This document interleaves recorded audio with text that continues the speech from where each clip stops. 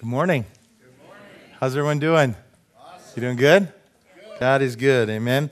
Well, I'm doing good. I was I was not feeling too good last Monday, but uh, a little food poisoning, but I'm feeling good now. Thank you for asking, Don. How you doing? You doing good? All right. Hey, if you have your Bibles, we have a lot to cover, and you know I, I preach really short messages, so uh, pray. And uh, but anyway, how, how many love the Word of God? I, was just looking last night. I was studying about George Whitefield. You heard of George Whitefield, the great reformer, or the great? Uh, uh, he was the first Great Awakening. And George Whitefield, hear this, back in the 1740s, he used to preach anywhere from an hour to two to two and a half hours. And he'd do that three times a day. Now, I'm not going to do that today here, but how many know if they in the 1740s needed hour, two hour sermons, how many know we need an hour, two hour sermon. How many know we get a lot more junk in than they did? Amen. They, they laugh on the farmers. Kind of, I mean, they didn't have a whole lot of TV and a whole lot of media to put, pour into them. And how many know we need that renewing of our minds through the washing of the word? Amen. How many know? I love it. One pastor said we need a good brainwashing. And I don't mean brainwashing where you're like a zombie. I mean a brainwashing to wash out all the junk and filth of this world. Amen? And so we're going to do that today. If you're Bibles, please turn with me to Daniel chapter 10 verse 12. Daniel chapter 10, verse 12. And I want to say this real quick. How many thought Morgan did a great job last week? How many? Can we give Morgan a hand there? I don't know where Morgan is. He's gone, but um, I think my boy did a good job. I was pretty proud of him. You know, he's uh, 21 years old, doing a great job. Uh, two weeks ago, I preached uh, the beginning of Daniel chapter 10, and the title was The Power of Humble Prayer. Now, today's title is The Power of persevering prayer. And how many know that we need to learn persevering prayer? A lot of us don't even pray hardly, but we need to learn that when we pray for something, we can't just pray five minutes and hope that uh, the world changes. We need to learn to pray with perseverance, to pray with ferocity, to pray with intensity. That's why we always encourage you in worship to be passionate. Amen? How many know I believe God? How many know the Bible says God is a jealous God? God gets a little bit of hurt when we see the U of A cats play and we go, woo, and do a wave and go crazy. But when we're at church, we're like, it's a, it's a, it's a personal worship. How many know that? Would you ever do that to wave? It's a personal wave. I'm waving on the inside. You know what I mean? Now, you know what I mean? I sometimes get mad. I'm not going to do the wave because nobody waves at church. I'm not waving. You know what I mean? But, but we get excited at the football game because why? We're excited. Hey, it's peer pressure. But I know there should, we should be more excited about the one who saved our soul than the cats. I hate to tell you, the cats don't really care about you. They don't. They don't care about They care about your money. They're not going, I hope our fans are really touched today. They don't do that. They don't care. And we need to know that. And so we should be the most just passionate, on fire people for God. Amen? Loving God. And so the power of persevering prayer. A.W. Tozer said this. I used to credit to C.S. Lewis, but I found out it's A.W. Tozer. It's good to Google things. But uh, he said, Most men think of this world not as a battleground, but as a playground. And how many know that? Especially now, because what is part of the last days? The last days will be that men, it says in 2 Timothy 3, it says, I believe 4, it says that men will be lovers of pleasure rather than lovers of God. How many can say a sad amen to that? I love my TV sometimes more than I love God. Now, I would never say that. I don't like to say that. But how many know if I look at the hours I spend with God and the hours I spend with TV or my phone, I have to say that the hours prove I love my TV quite a bit. And I don't even have cable. I just have, I have just a DVD player. But I still love it. Or our YouTube. You know, I do YouTube stuff. Now, it's mostly Christian stuff, but how many know we have to be concerned about that? And I want to tell you this, guys, that if we don't learn to pray again, and I'm going to tell you this, how many know it's more, it's harder to pray now than it's ever been because you have phones screaming at you, you have laptops screaming at you, you have emails screaming at you, you have Twitter screaming at you. You have so many things crying for your time. When I get up, I used to do my quiet time on my phone. But I'm seeing that that doesn't work. I kind of had I had to go to a tablet because how many know when it pops up, the, the, Fox News and Drudge says this is happening, this is happening, Dallas, and uh, how many know I get caught up in that? And I always said to you guys, and I feel like a big hypocrite when I say we need to first hear the good news before we hear the bad news. Because the reason why a lot of us are losing heart is because we listen more to the bad news than the good news. But hear this, guys.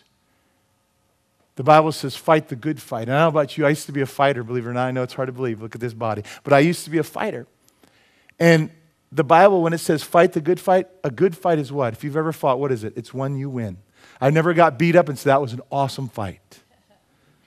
But how many want to win the battle for your family? How many want to win the battle for your marriage? How many want to win the battle for America? Then we have to learn how to fight spiritually. And the way we fight is not with guns. Amen? We don't picket. The way we fight is on our knees. The way we fight is through prayer. As it says in 2 Corinthians 10, it says, The weapons of warfare are not carnal, but mighty through God to the pulling down of strongholds. How many know there's demonic strongholds that are set up to destroy your family? There's demonic strongholds set up over this city to destroy this city. And how many, how many knows, you know, let me say this 40% of evangelicals do not believe in a literal Satan or demons. Now, how many know just because you don't believe in Satan doesn't mean he doesn't attack you? How many know just because our current administration doesn't believe in ISIS or Islamic terrorism, how many know it doesn't stop Islamic terrorism? Amen? And you can say, I don't, but it does, it, they go, thank you. That gives me more place because now you're not ready for me. But I want to tell you there's, there's a real devil. And I'm not going to say this to scare you. I'm saying this to realize we're in a fight. And you either can get wiped out or you can fight and win with God. How many want to win with God? Then we need to say, God, teach me how to pray. And we're going to see today, we're going to see the spiritual warfare. And if you get a hold of this, I'll tell you, you know, as I said, Monday I was sick. And I just felt like laying down and dying. You ever been sick We just go, you know, and I, am just, I'm tired, I'm sick. I just, you know, do you ever feel that way when you're throwing, and you just go, that's it. I just want to fall in the toilet and that's over. Anyone felt like that ever? I mean, I just feel like I'm done. And, and did you ever see Braveheart? Anyone love Braveheart? except for the nude scene. Braveheart is awesome. And I remember, do you remember when Braveheart just laid in the field when he was betrayed by the king and by the Bruce, and he just laid in the field and was ready to die? That's how I felt. I just said, Lord, you know, it's just so hard, just struggle everywhere. I'm just, it's just so hard. And it was in that sickness, it was in that struggle, the Lord said, Craig, and he speaks to me through movies. You know, maybe I don't read the word enough, but he speaks through movies and the word. But he says to me, Do you ever heard this Shawshank Redemption? Get busy living or get busy dying. And how many know the church is sort of dying? And it's time for us to say, enough, I want to start living for God. And what God did in the 1740s in this country, he can do it again in 2016. Because he's no respecter of persons, and because why? He's the same yesterday, today, and forevermore. As Mariah said, the only reason he's not moving is because of us. Because we're going, ooh, ah, ooh. And how many know we're being lulled to sleep? That's why I love, instead of saying a revival, because a revival can just be, ooh, like canon dancing. But I mean, that's not what this country needs. They don't need any more dance music. What they need is, what we need is an awakening. Because we're kind of asleep at the wheel, right? We're like, we're like, we're like that truck driver driving at 3 in the morning. We're just like this. And it's time for us to wake up and say, you know what? I need to put my phone down. I need to put my video controller down. I need to put my, my, my, my emails down, and I need to seek the Lord. And until we get serious, this country, how many know this? You might be caught up, we might be caught up in pleasures, but how many know the devil's plan for your life is you'll have no pleasures?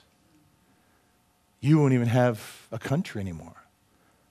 How many know you've heard people say that they're trying to turn this country into a third world country? Who do you think really is doing that? It's the devil. Remember what he said? Paul said, Our fight is not against flesh and blood. It's not against the Democrats or versus Republicans. It's not that. It's our fight is against principalities and powers, demonic powers. Amen? So we need to learn how to fight that. Let's pray. And hopefully you guys, you guys are looking at me like, oh, this is going to be intense. I can see he's already fired up. All right, here we go. Father, thank you so much for this day. Thank you for your love. And I ask God that you would just fill us, continue to fill us, Lord. And I pray that everyone's heart here wouldn't just raise their hand because they should, but Lord, you would start to stir in their hearts. And that, Father, just like you used George Whitefield, and he was anointed to bring a nation back to you, to get this nation, I should say, wakened to you, and start this nation with godly principles, that he was part of the, the writing our Constitution. He was part of what inspired pastors and leaders to write our Constitution. Lord, use men of God again. Use me like this, Lord, to stir your people, and then let them be stirred by you, to stir others, and let this holy fire start. Amen. Let it spread in our country. Let us say, enough is enough. I'm sick and tired of just twittering about, hey, what'd you eat for lunch? Lord, I want it to be about things that mean something. I want it to be about purposeful things. So, God, help me to put aside those pleasure things, those things that distract, and help me to focus on what matters, and that's you, loving you and loving others with your love. So, God, awaken us. Speak through us through your word today. Lord, this is an intense text. I pray, Father, you would bind. I know the devil doesn't want your people to hear this because if they hear this and live this, it'll change their life. It'll change the direction of our country. And the devil's pretty happy with where our country's going. But I pray that your people, you would stir us right now to raise us up to where we would say, no more. Enough. And it would be a holy rebellion, a godly rebellion, not of guns, not of protest, but of prayer, getting humbly on our knees and saying, God, bless America again. God, as it says in Isaiah, Lord, rend the heavens and come down. Lord Jesus, we've done everything to grieve you, but now we, the remnant, cry out that you would tear open the heavens and that you would pour out your spirit again. One last great awakening, one last great revival before you come back in these last days. Lord Jesus, please, Father, we don't want to just sur- survive. We don't want to just hang on by our fingernails. Lord, we want to see a great outpouring. And it might, we don't know how big that'll be, but Lord, we want to at least have life in our families. Amen. At least have life in our church, Lord. And we want to affect as many people as possible. As this ship, as I heard someone say, this world is a sinking ship. It's like a sinking cruise ship. And what we're to do is throw out the life preserver of Jesus to as many people who will take it. Lord, get us excited. Get us woken up, Lord. Let there be one great revival. And I don't mean, I shouldn't say revival, awakening, where people would be awakened to you, awakened to their spiritual destiny without you. As you awoken me, as I was ready to kill myself, you said, Craig, you don't like, you're not going to like where you're going, so you need to surrender to me. Father, open people's eyes, open people's ears, and start with us today, amen? Start with opening us and give us a heart, not just to say, we all would say, oh, yeah, I need to pray. But Lord, give us the discipline to pray. As one man said, first comes desire, which most of us have, but then comes discipline, and then comes delight. Let us be disciplined to pray and then bring the delight of answered prayer. We ask this and believe for this in Jesus' mighty name. And everyone agreed said, Amen. Amen. Excuse me. Verse 12. I read this last uh, two weeks ago, but I'll read it again. It says, Then he said to me, Do not fear. This is the angel talking to Daniel. Do not fear, Daniel, for the first day that you set your heart to understand. Oh, wait, I'm supposed to set my timer here. Okay. The first day that you set your heart to understand and humble yourself before your God, your words were heard, or your prayers were heard, and I have come because of your words. We saw a couple weeks ago that the angel told Daniel here the first day that Daniel prayed, his words were heard. First day. Now we need to remember that he had been praying and fasting for 21 days. So if Daniel's prayers were heard on the first day, then why was there no answer for 21 days? Why does God sometimes delay answers to prayer? Well, I told you a few, and I'll just go quickly over them. God sometimes delays we know God can answer prayers quickly and immediately. We saw that in Isaiah. But we also know He can deny our prayers, the answer to prayers, because our prayers are bad. How many know that? Sometimes the things we want is not good. And as Garth Brooks said, thank God for an answered prayer. Amen. Has anyone prayed a prayer you're glad he didn't answer? I have prayed. I told you I prayed for a girlfriend that I wanted to be my wife, and thank God she's not my wife because she's not living for God. So, why does God delay answers to prayer? As we saw also last week, sometimes He just wants to hang out with us. He wants to spend time with us. One man said that if we got everything instantly, we'd never come back. Amen? So he sort of says, Hey, that was really great. Good talking to you, Craig. Why don't you come back tomorrow and we'll talk more about it? And he sometimes delays prayer just so that he can spend time with us. Isn't that amazing? God wants to spend time with you.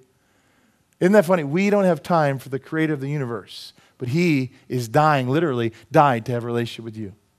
Isn't that amazing? Does that convict you like it does me? I mean, it's just wow. But we're going to see today that also prayers can be hindered or delayed because of demonic spiritual forces. Such is the case with Daniel today. And we got to see that. And, and I'll tell you, it is, if you go get this, it'll hopefully awaken you to pray like you've never prayed before. Verse 13. But the prince of the kingdom of Persia, which is modern day Iran, isn't that amazing? This had Persia had problems demonically then, and how many know Iran's got some problems today? Because there's a demonic prince over it.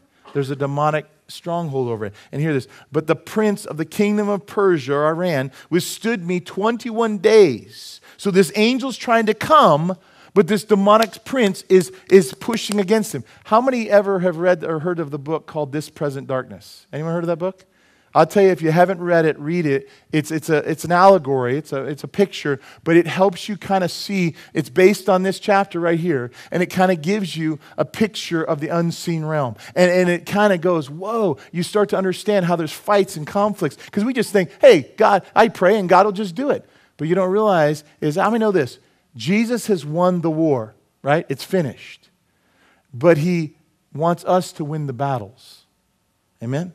He wants us to win the battles, the battles for Tucson, the battles for our family. We, he says, all authority has been given to me. And he says, now I've given you all authority to trample upon snakes and scorpions and all power of the enemy. And nothing shall injure you. But guess what? We have to proclaim it. We have to walk in that authority. We have to pray. We have to speak it. Amen? That was a weak amen. I don't know why we're losing. There we go. That's why. Right there. Mm, you know, that doesn't work. Mm, no. Amen. Remember what amen means? It means so be it. But if you go, wait, you say sometimes amen to bad things, it means also it is true. So when I say something that's not a good thing, you can say that's true, even though I don't like it, it's true. Amen means it's true. So that's why we say amen. But he says, The prince of the kingdom of Persia withstood me 21 days, put his hand against him, fought him.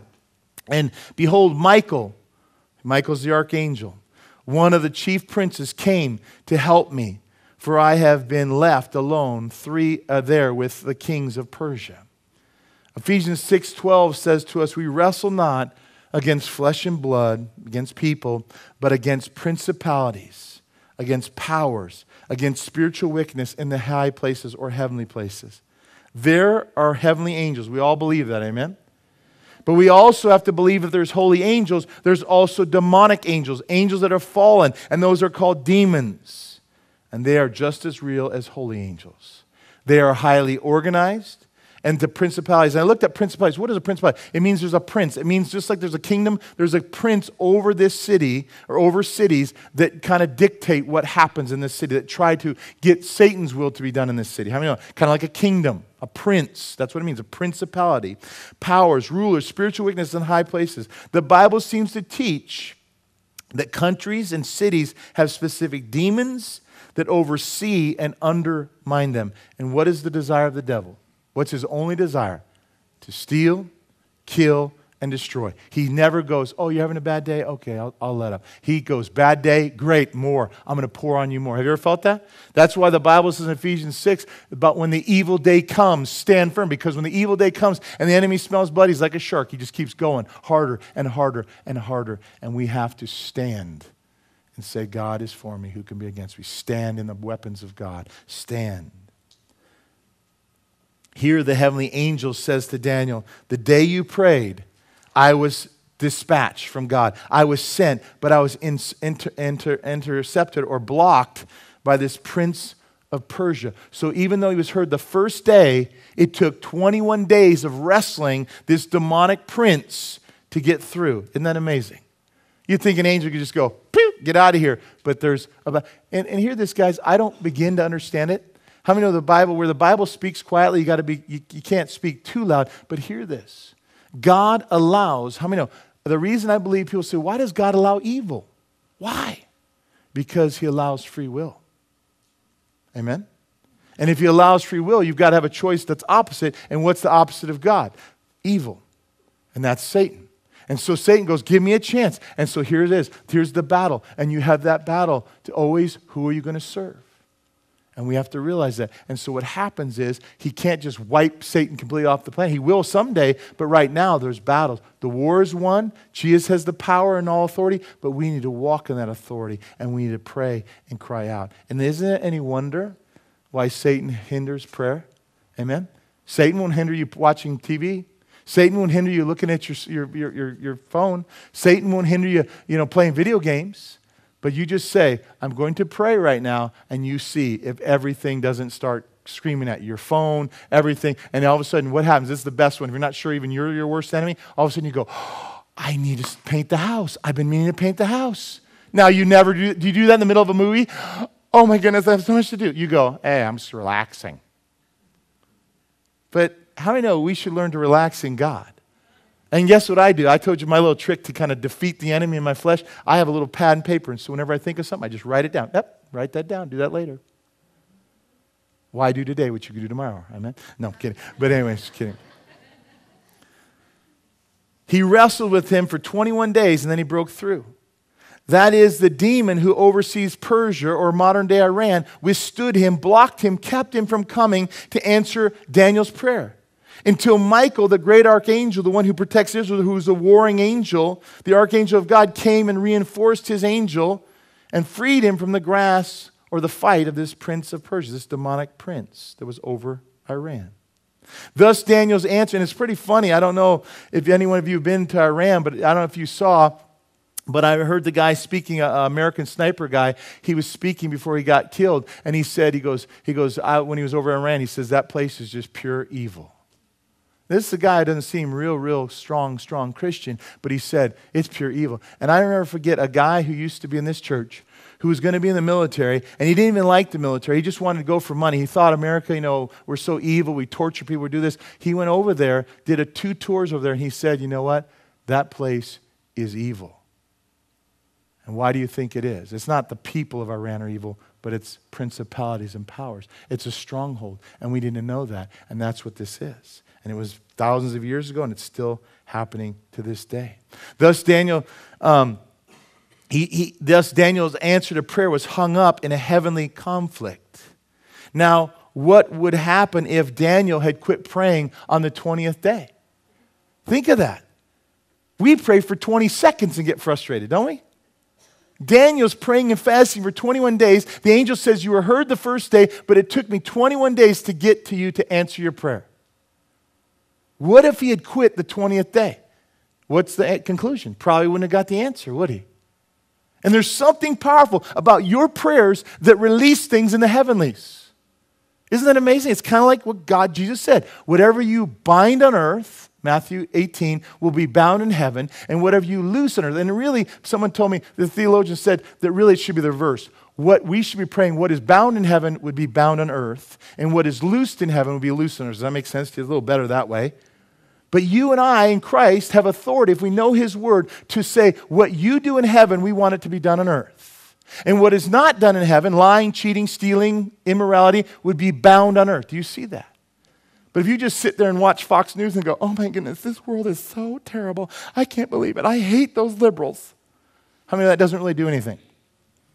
But if you say, you know what, I really hate this, I'm going to get on my knees and I'm going to cry out and I'm going to pray that the spirits behind these things that are happening would be bound. How many know that starts to do stuff?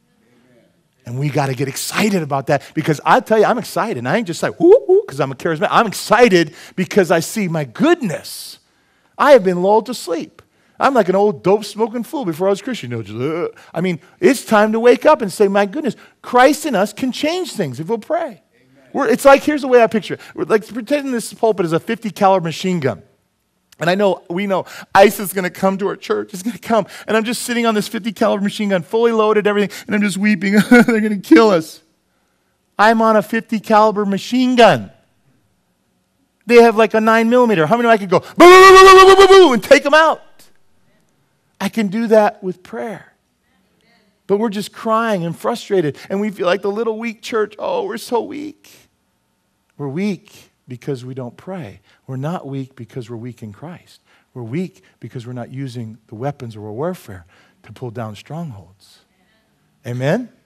You get that? I hope that it hit me like a ton of bricks this week. I, this sermon revived me to go, oh my goodness.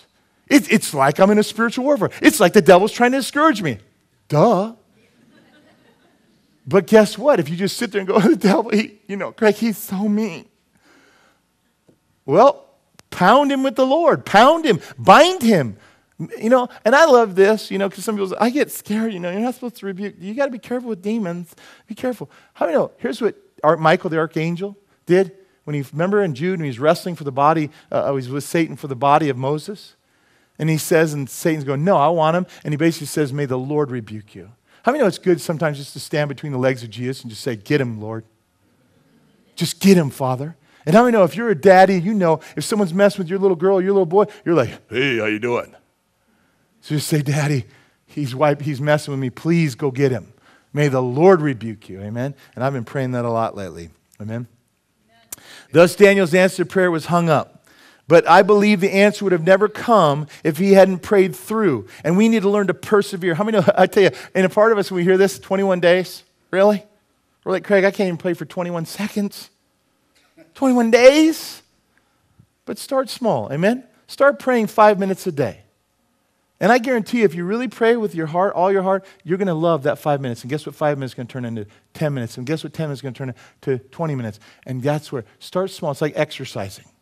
And if you're like me and you're dumb, you try to exercise. You've been exercising for 20 years. I was doing that. I'm getting on my bike, you know. I was starting to work out, and that's how I got sick. And I'm working out, and I'm doing like i am doing 40, 40 minutes three times a week. And I haven't done anything in like months, years, probably a year. And I'm wondering why. you know, I'm like, oh, you know, I'm wondering why I'm freaking out. How many know? If you try to pray 21 days, you might get overwhelmed. But try to pray maybe 21 minutes and say, Lord, I want to do that, and I want to see the power of prayer in my life. And cry out humbly. Say, God, help me, because I get distracted. I get distracted. Help me. And you can just say that to God. God sees your heart. He knows how wayward we are. He knows we're like, squirrel. He knows that.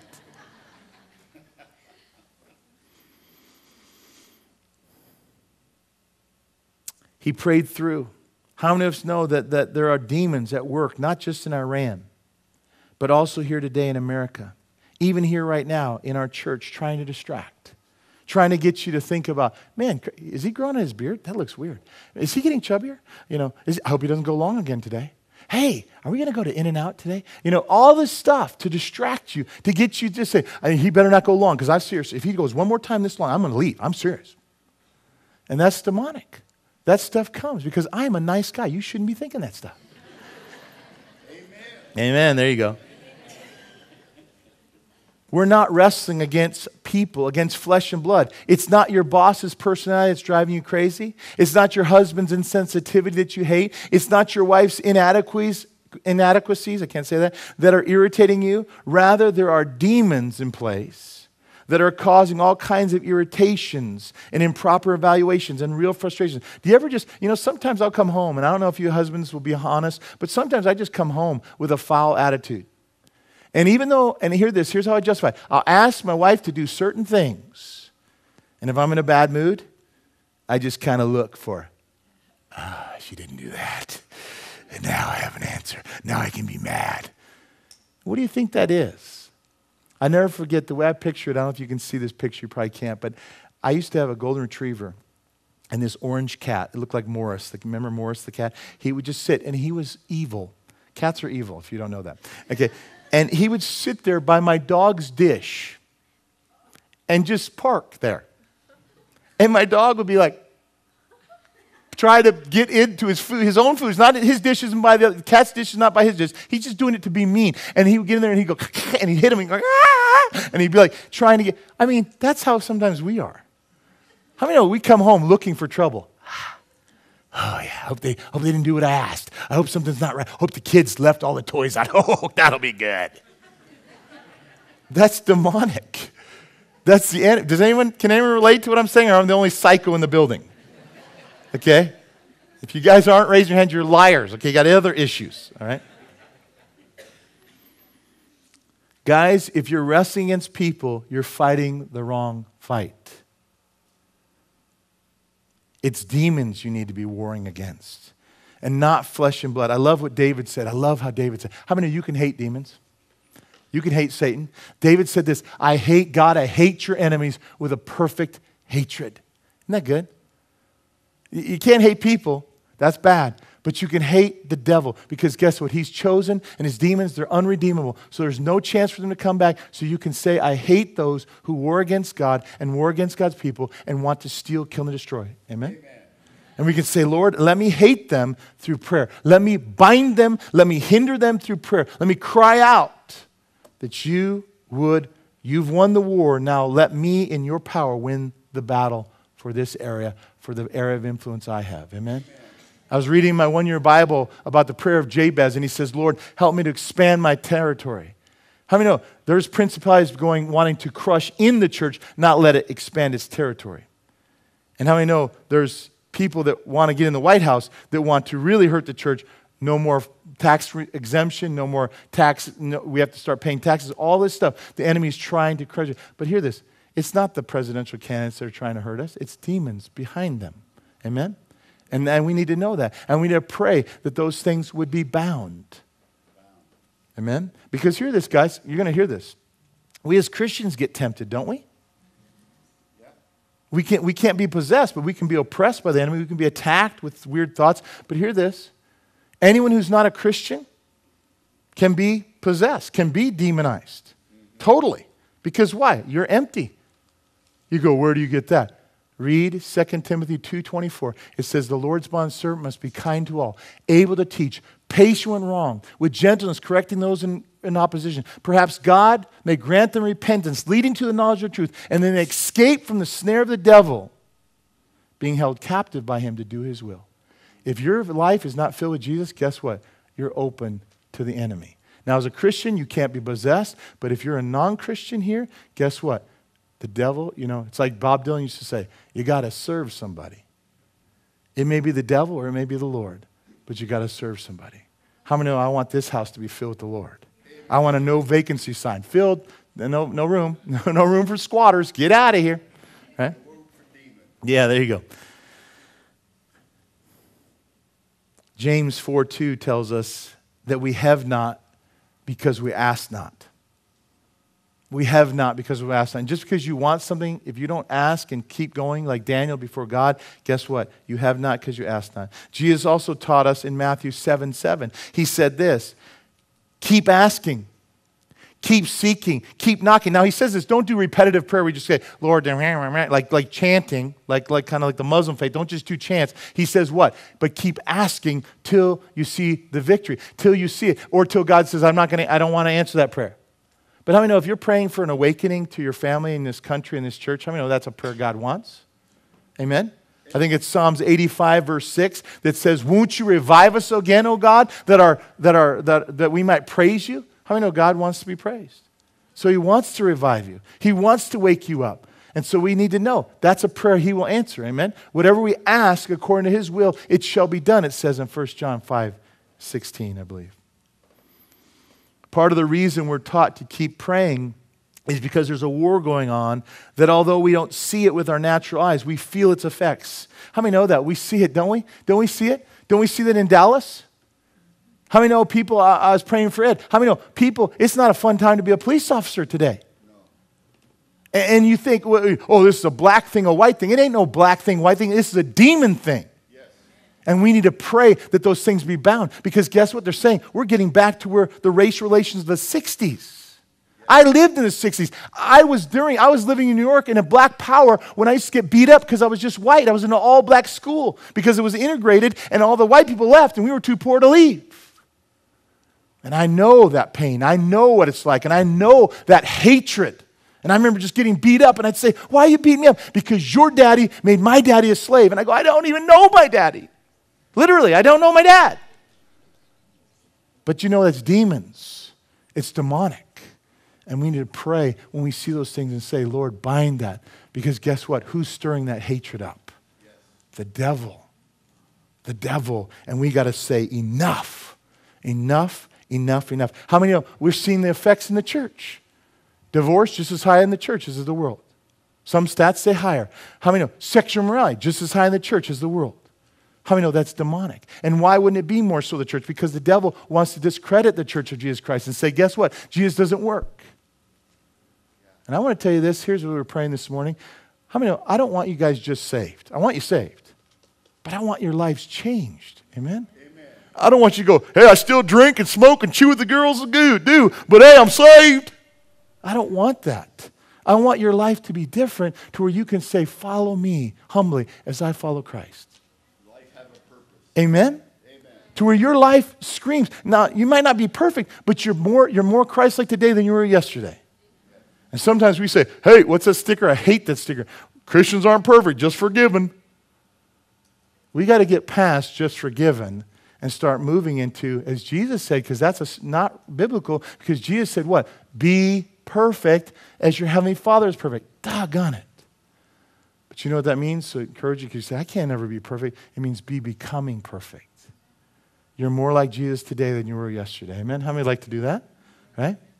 Wake up make sure you revive. You go, ooh, ooh. Right? let me know you're out there. All right?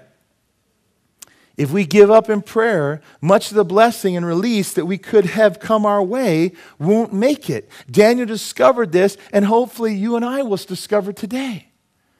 But I'm going to tell you this, guys. I'm going to say this, and I know you, uh, this is why you guys love me. This is why our church is so mega. It's going to take real discipline to seek the Lord in this day and age. Because there's a lot of things screaming vacations, Bahamas, quads planes, video games, phones. And we have to say, God, I love you more.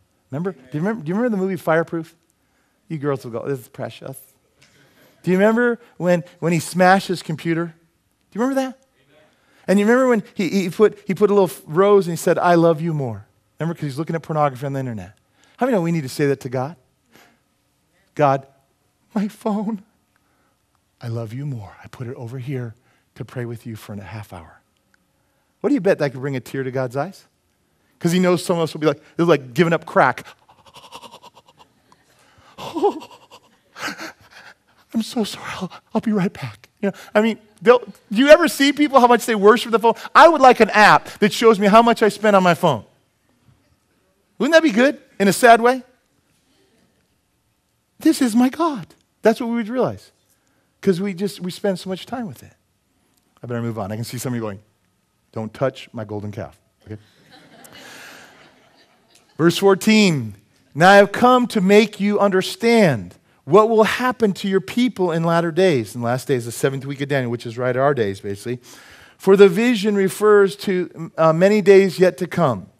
Verse 15, when he had, had spoken such words to me, I turned my face towards the ground and became speechless. Verse 16, and suddenly one having the likeness of the sons of men touched my lips.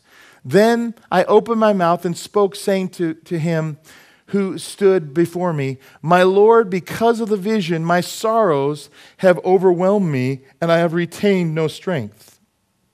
Verse 17, For how can this servant of my Lord talk with you, my Lord? As for me, no strength remains in me, now nor is any breath left in me. Remember, I believe he saw the Lord. And I was going to talk about this, but I'll be here for five hours. So uh, you just asked me about this, why it was, I believe this is now an angel. It was Jesus. It was an angel, and then it was Jesus, and now it's an angel again. So if you want to know, ask me later, and I'll tell you because I've got seven minutes and I'm halfway through. So there you go. Verse 18 Then again, one having the likeness of a man touched me and made me strengthen me, or, or uh, touched me and strengthened me. Verse 19, hear this. He said, O man, greatly beloved, fear not. How many know if you know you're loved by God, it'll cast out all fear? Amen? Perfect love casts out all fear. So he says, O man of God, great a man greatly beloved, fear not. Peace be to you. Be strong. Yes, be strong. Love of God makes you strong. So when he spoke to me, I was strengthened and said, Let my Lord speak, for you have strengthened me. Once again, feeling the effect of the vision, I believe he saw a pre incarnate Christ. His strength was sapped. And now an angel comes and tells him, Daniel, be strong. Do not be afraid. You're greatly loved. Now, now, now, now, some of you might be saying, but Pastor Craig, no wonder God came to Daniel. No wonder an angel came to Daniel. He was a great man of God. He prayed, he loved God. But me, I struggle. I don't pray 21 days, I barely pray 21 seconds. I do things I shouldn't do. I look at things on the internet I shouldn't look at. I, I, flirt with people at the office. I do all kinds of stuff. I do stuff with my boyfriend or girlfriend I shouldn't do. I, I'm not like Daniel. The Lord would never speak to me or be able to use me like Daniel. Well, guys, check this out. This is cool. The same angel ministering to Daniel here is the messenger angel known as Gabriel, many scholars believe. Later, this, this angel came also to Mary, the mother of Jesus, and said to her, Hail, thou art highly favored, or literally greatly loved. The angel called Mary highly favored or greatly loved. That's kind of what it means both ways. That's found in Luke 128.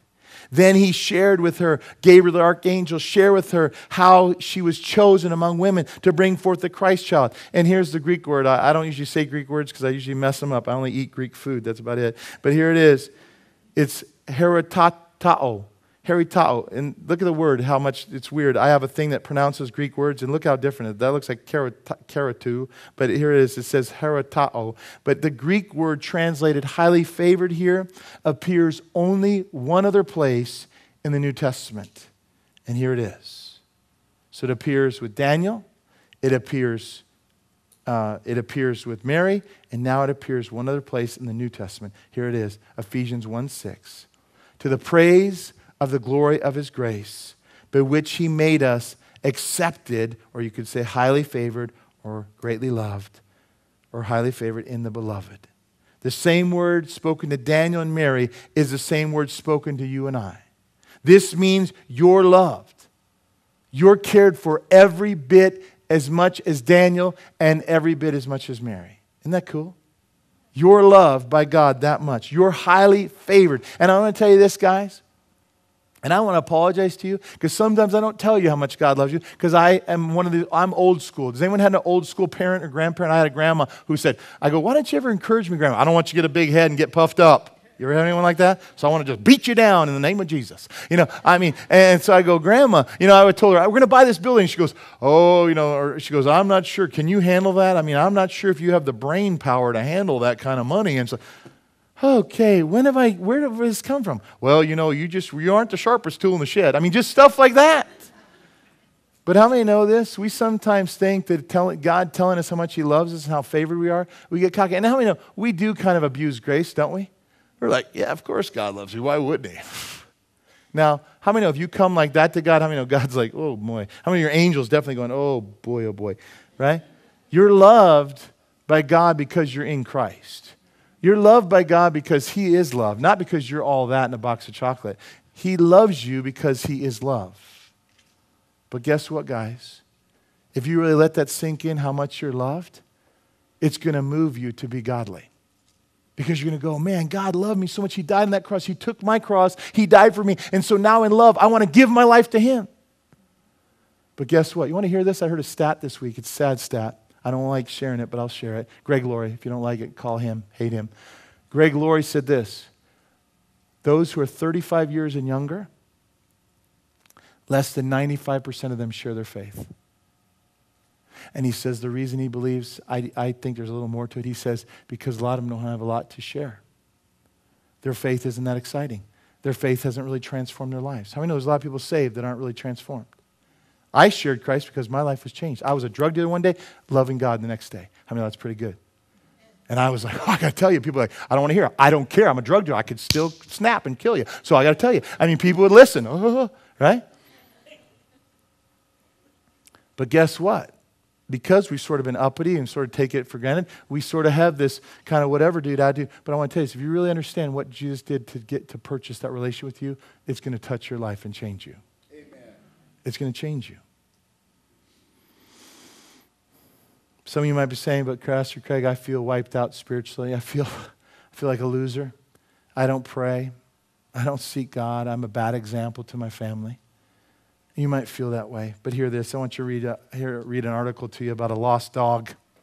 Here it says in the article looking for a lost dog. It says, Lost dog with brown hair, with several bald spots, right leg broken due to being hit by a car, left hip hurt from a dog fight, right eye missing, left ear bitten off by another dog fight. If found, he goes by the name Lucky.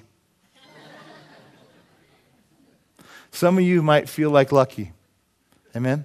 You might feel beat up, one eye's missing, roughed up by the world, and a lot of it's self induced. But hear this know that you're highly favored. Know that you're loved. God calls you highly favored, calls you highly loved. And the only one who separated, you remember what the Bible says? Who can separate us from the love of God? You know who's the only one who can separate you? Is you. Remember, Paul says, no demon, no man, no female, nobody can separate us from the love of God. Only one who can separate you is if you believe God doesn't love you. And don't we tend to do that? Don't we tend to, we live in such a society that says, you do this and this, you get love, you don't do this, you don't. And so a lot of times when I used to blow it, because a good old Catholic boy there was, God must not love me right now. Now I need to earn his love. Anyone felt that? I need to earn back his love. How many know all he wants you to do is admit it and quit it. Get, repent and get back because he loves you. Amen? Amen. He loves you. Some of you will get that in the parking lot, I guess. Verse 20. Then he said, Do you know why I have come to you? And no, now I must return to fight with the prince of Persia. So you see, the fight doesn't end. So, so the war's won now, but there's still battles going on. So he needs to get back to the fight. And when I have gone forth, indeed the prince of Greece will come. So there's another fight coming. Verse 21 But I tell you what is noted in the scriptures of truth. No one upholds me against thee except Michael, your prince. Michael was the one who watches over Israel, and he, he's the archangel that watches and kind of guards and wars. The angel says the battle isn't over. I'm here to share with you, Daniel, Daniel, but now I have to go back because the battle goes on. The battle isn't over, guys. It continues in our heavenly, heavenly arena still today. Therefore, like Gabriel, like Daniel, we can't afford, hear this, to kick back and have a take it easy attitude. How many know we have that? We say, whatever, dude. You hear young people all the time, whatever, dude whatever, right? Whatever. And that's why I think dope makes us really motivated, doesn't it? It's great that we're legalizing that because we need that more, right? We need more, our workforce to just be whatever, dude. I mean, if you want to be a good worker now, all you have to do is show up. That's about it. And just actually, you know, fry, right? Whatever, dude. But how many know that pervasive feeling in, the, in this country cannot come in our church? It's coming in, but we need to stop it because that hinders God. That is letting us get wiped out. I want to give you three reasons. I'm going to do it very quick. Three reasons why our country, why we can't have a kickback or a laid back attitude of saying whatever, do, not caring. First is because of our country. How many love this country? Raise your hand high. If you love this country, then you need to take this serious. Hear me. Hear me. Daniel loved his country. The first year of Cyrus, king became, became king. He told, remember, they've been in captivity 70 years. Now King Cyrus comes in. There's been many kings. King Cyrus comes in, and guess what he does? Just like God said, 70 years, King Cyrus says, Guess what, Jews? You can go back. You can go back to Jerusalem. You can go back and rebuild your temple. Go. But you know what happens? A lot of people say, You know what? We've been here 70 years now. We're kind of comfortable. We're kind of comfortable in the world. Babylon is a picture of the world. How many know that's us? We're kind of comfortable in the world. Hey, I got my I got my surround sound. I got my big screen TV. I got my bowl of chips and some bonbons. I don't care if the world's going to hell in handbags. Dallas ain't happening to me. I don't care. And guess what? We need to care because it's going to come to a city near you if things we don't step up. Amen. Amen? And you can say, "Oh, you're scaring me, Pastor Craig." I'm scaring you while there's a chance to change. Amen? I'm trying to shake you to wake you. Amen? Not just to frustrate you or condemn you. When, when Cyrus said, You can go back, only 49,000 people, a handful went back. The rest were so comfortable in Babylon that they, they wondered why God, why they should go back and rebuild the temple. It's going to be a lot of work when we could just kick back and be comfortable here in Babylon, the world. Oh, initially it was hard there, they thought, but the years went on. Babylon began to feel like home. Seeing the people comfortable in carnality, this broke Daniel's heart. And hear this, guys. I'm just going to pour out my heart to you. It breaks my heart when I have to see the worship team beg you guys to worship God. When you're carnal, when you just say, you know, at a football game, woo! But here you're like, you know? You should be as excited about God as you are football, as you are your hobby, as you are anything. You should be excited. You should come not late, you should come prepared and excited to worship God. So Daniel was bummed, and that's why Daniel's praying, because he's going, My goodness, we're free, and now most of them want to stay. This is sad. And how many know? We're kind of, we're just sort of saying, hey, you know, the church stinks, and, and you know, not the church, but you know, we're carnal, but hey, we have our pleasures, so who cares? We've got to say enough of that. Enough of that.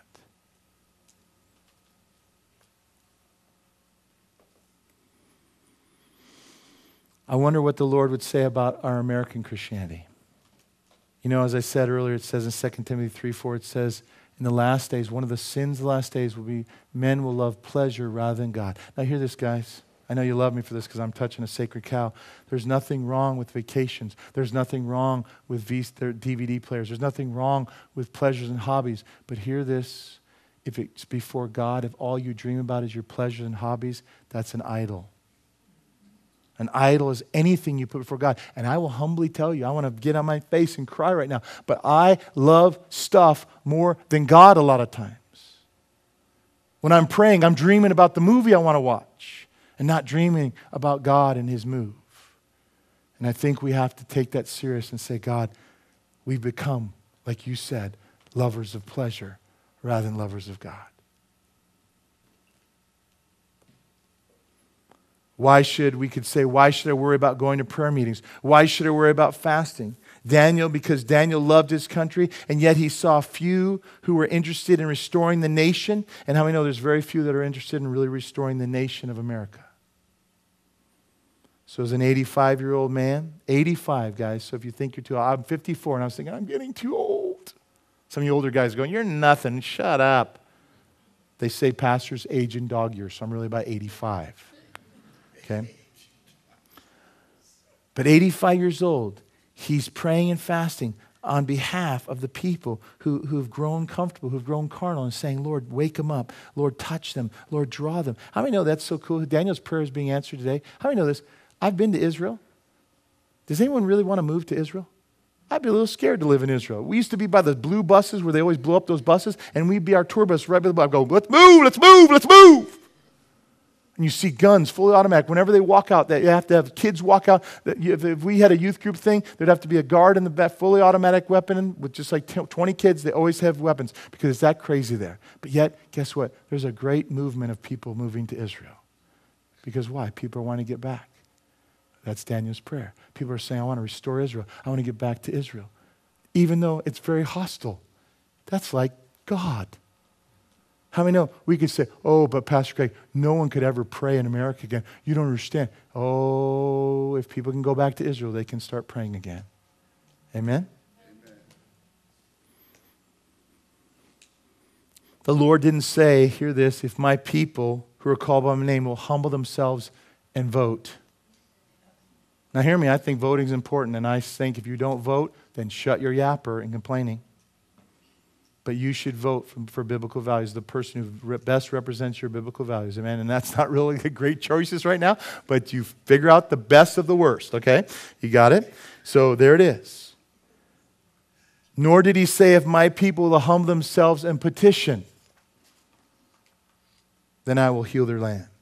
No, he said this If my people are called by my name will humble themselves and what? Pray. Seek my face. Guess what? That takes time right? Pray, seek my face, and here's the one that's also a little work for us turn from your wicked ways. Get rid of that computer if you have to. Turn from your wicked ways. And then what happens? He says, I will hear from heaven and forgive their sin and heal their land. You know what, guys? I get really concerned that we're going to have to almost let our country get to a third world country before we realize how much we need to obey that verse. Because every time I ask you guys, listen, I'm just going to, can I, I'm already on a roll. I know you're already happy with me. Some of you are. So I might as well just keep going.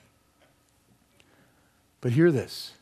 I can say to you, how many believe we need revival? Everyone, ooh, ooh, ooh. How many need to pray? Ooh, ooh, ooh. And then if I say, we're going to pray this Wednesday, guess what? Five of you will show up.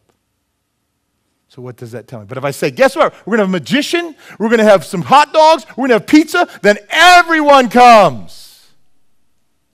What do you think that says to God? And we go, why isn't God blessing America? It's just weird. Because we don't care enough to say, you know what? I'm going to take prayer seriously. And we can say things like what? I'm just, I, I'm just, I just get really nervous praying out loud. I just can't do it. Well, then just come and pray and don't pray out loud. But I want to tell you this as a little thing. Kevin used to come. I remember he was a little 12 year old, little red-headed, chubby, little red-headed kid. He said, Uh, Pastor Craig, I don't pray out loud. I don't do it. Now you can't stop him from praying out loud. And I said to him, if you want to be on this leadership team, you're going to learn to pray out loud. And he goes, oh, no, I will. Uh, yes, you will. And he prays now. Amen? And he's pretty cute too, isn't he? There you go. If you're a true patriot, how many would say you're a patriot? You love America? Raise your hand. If you're a true patriot, then be a prayer warrior. Be someone who prays. Be someone who, sees the battle raging and say, I must, it must be fought, and I'm going to fight this battle in prayer. I'm going to cry out, as Isaiah said in 60, Isaiah 64 1, Lord, rend the heavens and come down. Lord, whatever's blocking this, tear it open and come down.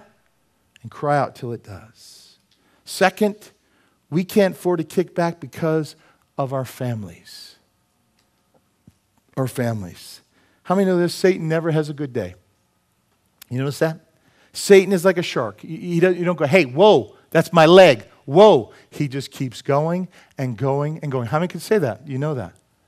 You've seen it. A lot of your family's been ravaged. Satan never has a good day. Demons never let up. They go after your kids. And hear this if they see they're vulnerable because of your lack of prayer, because of your lack of intensity, your lack of praying for a hedge, they're going to be taken out. Not if they will, when they will. Job, the most righteous man on the face of the earth in his day, Job is one of the oldest books of the Bible. Early, long time ago, rose early in the morning and offered sacrifices on behalf of his kids. That means every day, listen, we go, oh, I don't have time to pray. Listen what this guy did. He prayed and offered sacrifices every day for each one of his kids. He killed an ox for his kids. How many know that would take a little time? Right? You don't just go, and that's it. You, you got to take some time. But he did that because he realized that they were, his kids were being pressured. He, he, he knew that, so he would raise, rise daily and sacrifice and intercede. And God, Job knew God. He was a man. It says there was, he was, no, there was no man like him that was as righteous as he was. But yet he would cry out. He understood spiritual reality, that we're in a war. He knew he couldn't afford to just kick back and have a whatever attitude because he knew Satan is like a roaring lion seeking who may devour. And he wants to devour. How many know he wants to devour people whose, whose kids are, are Christian? You're not sure about that? The statistic says that you send your kid to the U of A, 75% of them will fall away from God the first year of college. Because the devil is serious and he says, I want to take people out. And if you're not crying out for your kids, you're not interceding for your kids, you're not crying out for your marriage, you will be taken. Not if, when, and how you'll be taken out. Have you noticed it's getting a little more intense out there? Have you noticed, those of you in marriages, how there's fights and attacks? Well, guess what? Because the enemy knows his day, his time is short. And he's unleashing everything he's got.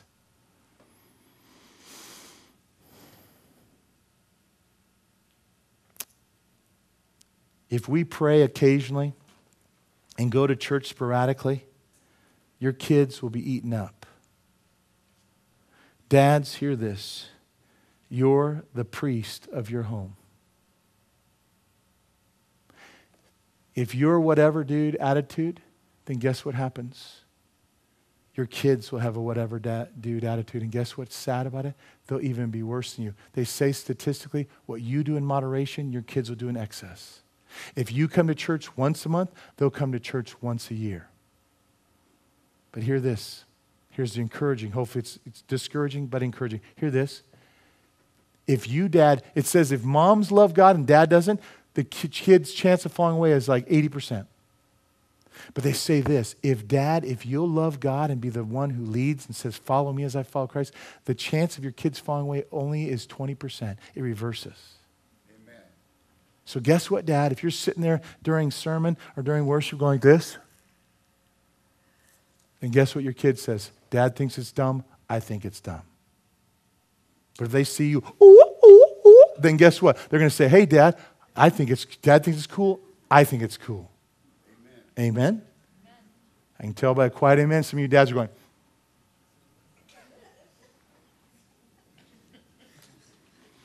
I'm going back to Casas. Okay. Anyway.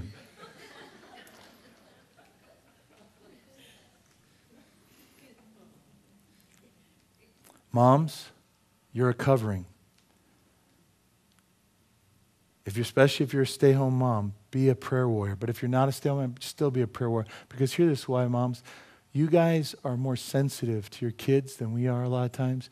You guys are more sensitive in the spirit, and you need to be sensitive, crying out, interceding, and hearing from God what's going on, and crying out. Amen. You need to be that spiritual covering in prayer. We can't take it easy because our kids are paying the price. How many know that's sad when you hear 30, those 35 and under aren't sharing their faith? Only 5% are sharing their faith. How many know Christianity will die if that continues? It will die. Thirdly and lastly, and I'm moving on here. Is this all right? Can I go? Can I go? Give me, give me another 50 minutes? No, I'm just kidding. I'm just kidding. Here it is. But can you hang on here? I, I, I, I wanted, I thought, should I do this two parts? But a lot of times you guys don't come two weeks in a row, so I couldn't give it. So here it is. It's your fault.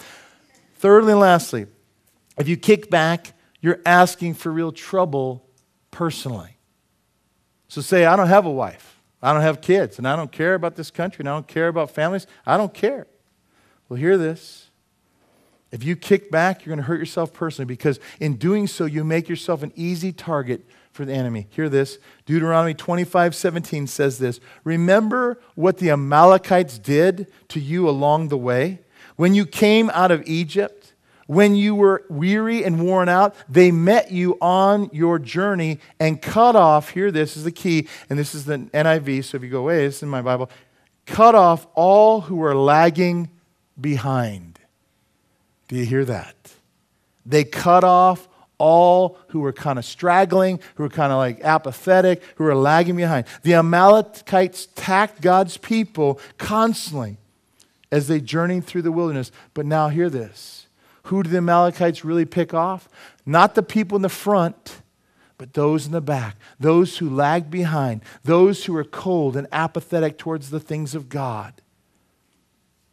Now, you might say, might not, as I said, care about this country. You might not have a family, but if, you're, if you have a laid back kind of Christianity that says, whatever, dude, that says, I love this. A lot of Cal- extreme Calvinists says, hey, it is what it is. It's all going to work out. It doesn't matter what I do or don't do. God's sovereign. He's going to do whatever he wants to do. Hear this.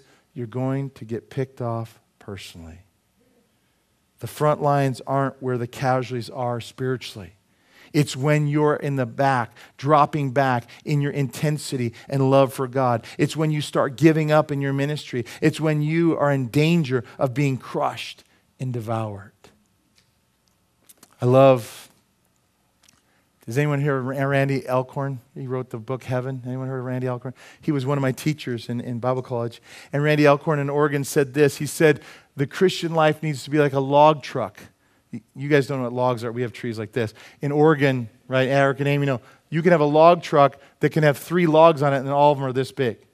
And he says, You need to live the Christian life. I remember a young man, I'm like 20 years old, or maybe 8, 19. He says, You need to live the Christian life like you're on a, driving a big log truck up a steep hill in second gear with no brakes.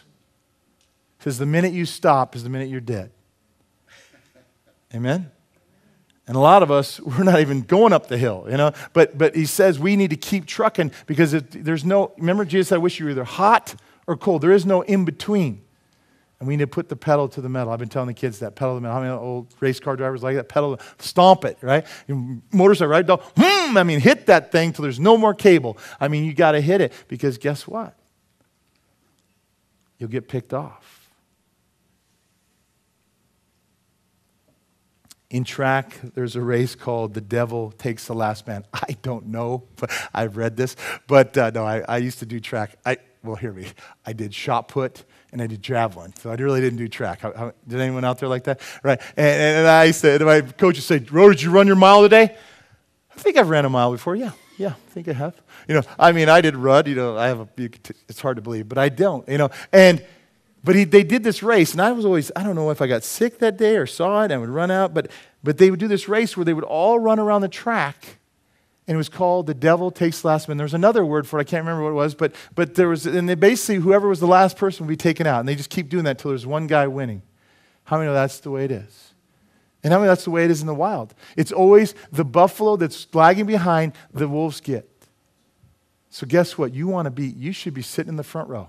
Because you last row people, no, just kidding, just kidding. No, you know, you, you know what I mean? It's everyone's looking back. Hmm, okay. No, but I mean, because the devil takes off the stragglers. And we need to be people that are putting the pedal to the metal. Amen? if I haven't offended you, just give me one more second and I'll do No, okay. okay. Some of you might be saying, well, Pastor Craig, that's great. It's good. But if God is so sovereign and so powerful, why doesn't He just wipe out all these demons that attack us? And hear this. This is the last point. I promise I'm done. Thank you for being patient with me. I didn't preach last week, so I got a lot in me.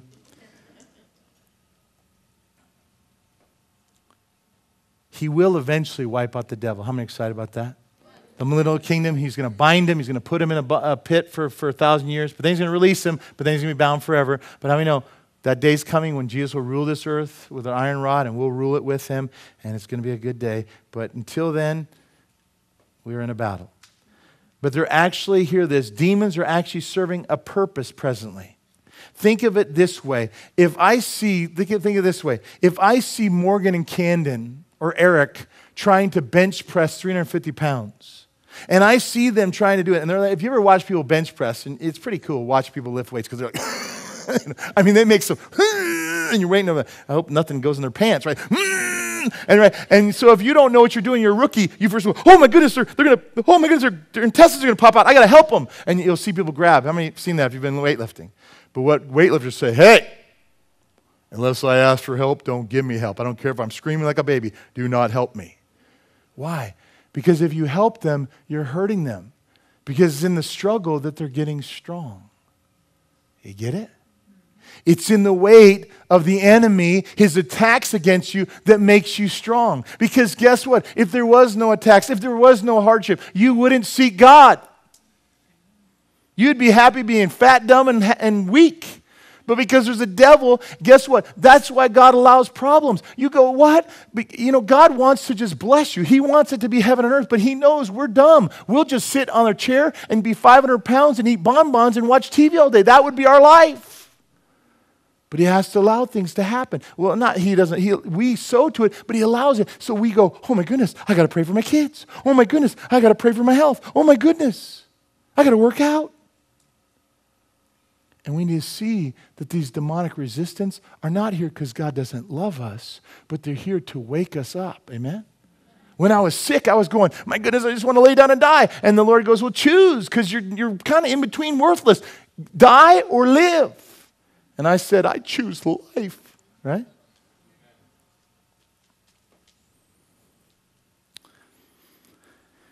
Yes, He causes things to get heavy.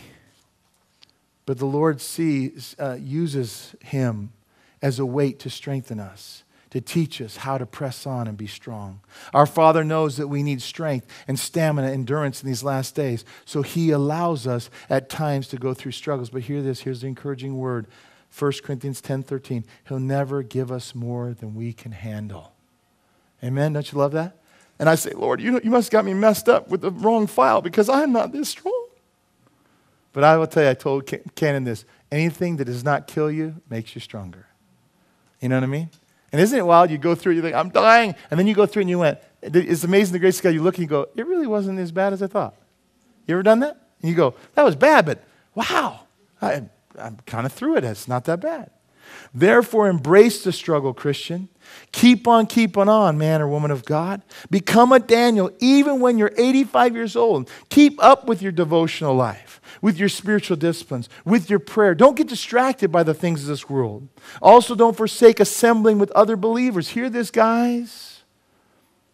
Do you understand why it says in Hebrews 10:25, don't forsake the fellowship with other believers, which is a custom of some, especially as the days of the Lord approaches, the last days? Why do you think that is? Because of bombings, because of shootings, because of killings. And people say, I'm scared, I don't want to go out. You've got to fight to stay connected to the body of Christ. Because you're going to be tempted to say, I want to just bunker down, I want to hide out, I want to get away. And how many know the devil goes, I've won?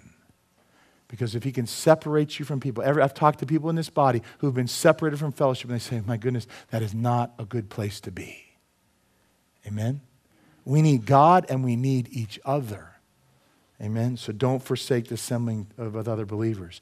Don't become a worldly Christian like the Jewish Christians in Babylon who said, you know what? I should go back to Israel, but I'm caught up in the, the, my business. I'm caught up in worldly things. I'm caught up in my hobbies. I'm caught up in my house. So I can't go back. I can't restore my country or restore my family or restore my life. Instead, say, I will continue on because there's too much at stake. Also, because, hear this, I love my country. Amen? I love my family. And I want my life to count for Christ. I don't want to just be a dash and say, oh, yeah, who was that fat gray guy used to be in the pulpit? Remember that guy? He used to go on forever. Remember that? I don't want that. I want my life to count. How many like your life to count? Two of you. That's great. Will you say with me today? Lord, by your grace, keep us keeping on and get us going in prayer again or for the first time. But I want to tell you guys if you're sick and tired, as I am sick and tired, then let's get on our face and show God we mean it. Let's do it.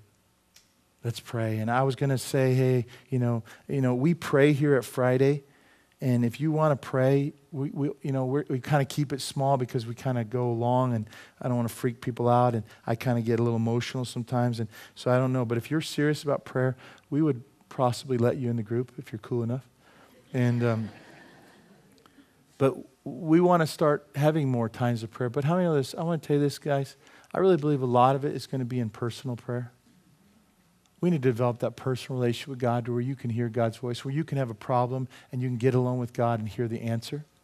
We don't have to just go, what is, let's call Pastor Craig, let's call Kevin. What do I do? I don't know what. You need to hear. The same God who speaks to me is the same God who wants to speak to you. But it takes a developing a listening ear. Amen? Amen. Was that all right? Amen. I'm done. I know it's hard to believe. It's a miracle, right? And only an hour and 70 minutes. No kidding. Anyway, Father, thank you so much I thank you for what you've done and what you're doing. And I pray, God, that you would awaken us, Lord. I don't come here acting like I'm all that because I'm not. I don't pray like I should. I don't read your word like I should. I don't, I don't implement spiritual disciplines like I should. I don't memorize your word like I want to. So I humbly say, God, I'm willing to be made willing. Amen. Please change my heart. Please let me see these blessings of phones and computers. May they truly be a blessing, not something that distracts me, not something that hinders me or hurts me, but may they be what they're supposed to be a blessing, a tool to help me in my walk with you. But Father, show us, give us a disdain for our toys if they're hurting us from you. Amen? Give us a frustration with our TV. Let us just look at it and go, like, like, like the Bruce Springsteen said, Bruce Springsteen used to say, 57 channels and nothing on. Let us say 2,000 channels and nothing on. And just say, you know what, I'm tired of this. Let dads rise up and say, you know what, I'm tired of us. I'm tired of us never having a family devotion time. I'm tired of us never praying. I want to start praying. And Father, help them. Help us to start small, Lord. To not just try to be a triathlete overnight, but help us to start with maybe five minutes of prayer five minutes of reading our word, but that we would be in your word, we'd be in prayer, and we'd be crying out with sincere hearts, saying, Wake us up, God. Wake up, wake me up, wake my spouse up, wake my family up, and wake this church up. And then as this church is awoken by you, then Lord, let it start spreading through this community. Let this church grow, not because of gimmicks and coffee bars, but let it grow because of a move of your spirit in our lives. Amen. Wake us up, Lord. Please, Father, don't let us be lulled to sleep by the enemy anymore, lulled to sleep by our, pleasure, our pleasures. But Lord, awaken us to the things that really matter, that will change our life for eternity. Bless your people with an awakening and use, raise up in this church men and women of God who will spur others on to live for you. We thank you. We ask for this in the mighty, most powerful name of all the name of the Lord Jesus Christ of Nazareth. Amen.